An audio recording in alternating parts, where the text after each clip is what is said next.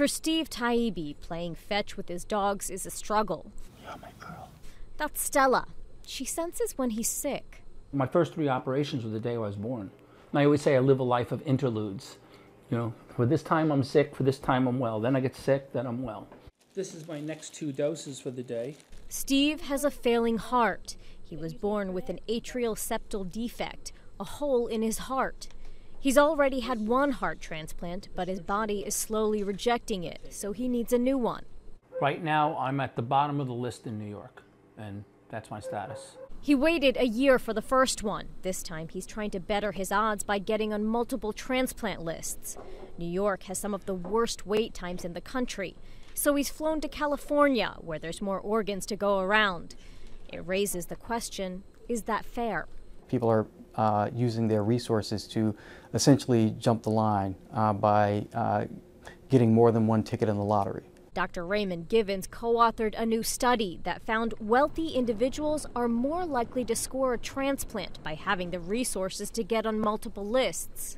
Despite appearing less sick, um, they, got, they were more likely to receive transplants um, and, uh, and were less likely to die while waiting. There are more than 122,000 Americans waiting for an organ. The average wait time for a kidney is four years.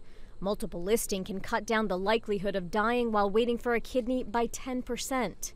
But many insurance plans won't cover multiple listings, and medical tests required to get on another state's list can cost in the tens of thousands in addition to travel costs. The problem is that only wealthy people and those who can travel very easily are able to multiply list. Many medical experts say the current policy needs to be changed. The United Organ Sharing Network, in charge of the nation's transplant system, acknowledges the need for improvement. Rather than addressing multiple listing in terms of banning it or promoting it, it would really be better to address directly the geographic inequities from, from which the whole issue arises. Um, and that is something that UNOS uh, is very, very actively engaged in. Steve Taibbi is blowing through his savings and retirement to desperately get on California's list. To him, asking if the system is fair means asking if he deserves a better chance at getting a heart. If I stay here, odds are I won't survive the list. He plans to do what he can to stay alive. In New York, Bonnie Ghosh, The Associated Press.